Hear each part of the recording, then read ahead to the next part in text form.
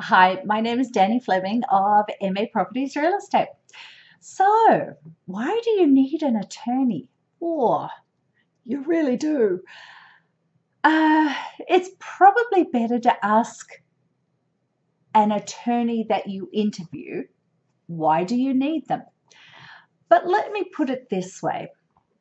Um, we, uh, we've seen, um, I've seen over a large, a long career, good attorneys and really, really bad attorneys. Um, they can make your life hell or they can help the whole thing be a streamlined, low stress um, situation. Attorneys that we often deal with when they find out that there's no attorney on the other side, it's basically, and I'm not meaning, you know, um, oh, what's Dastardly Doolittle or something? I don't know. That's a cartoon character. It's not like um, they're they're going to do something wrong, but the whole one of the purposes of having an attorney represent you is so that the the purchase and sale agreement that is drawn up and handling you know the the the transaction through to closing is for your benefit. They represent you. They represent you. And if there's not an attorney on the other side they can get an awful lot more things into, say, the purchase and sale than they would be able to otherwise. Um, I've seen situations where there has been an extremely good attorney on the other side and a so so attorney on our side.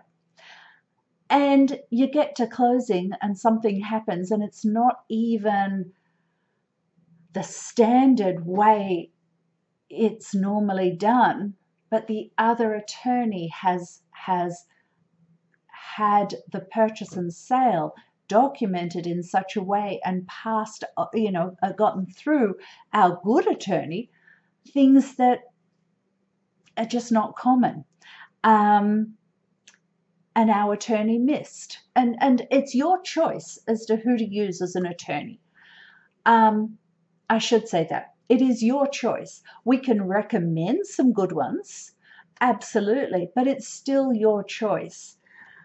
I think it's important to point out again that there's good attorneys and there's really bad attorneys. If you're getting a recommendation of an attorney from a colleague at work or your next door neighbour who uses an attorney once every 10 years,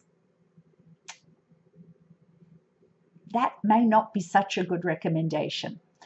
Um, we use attorneys day in and day out and know the ones that you shouldn't be using. Um, know the ones, you know, know the ones that are really good attorneys. So you need an attorney to help you through the transaction and get you to the other end in as least amount of stress as possible. Um, that's probably the key key thing there because your attorney represents you it's really important to have someone representing you in the transaction and don't have the other side's attorney rubbing their hands in glee when they find out that you're not using an attorney. Use one. 100%, 100%, 100% use an attorney please. Um, it will protect you.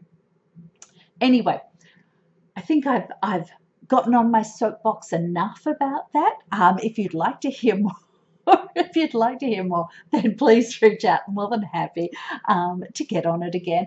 Um, but it is really, really important.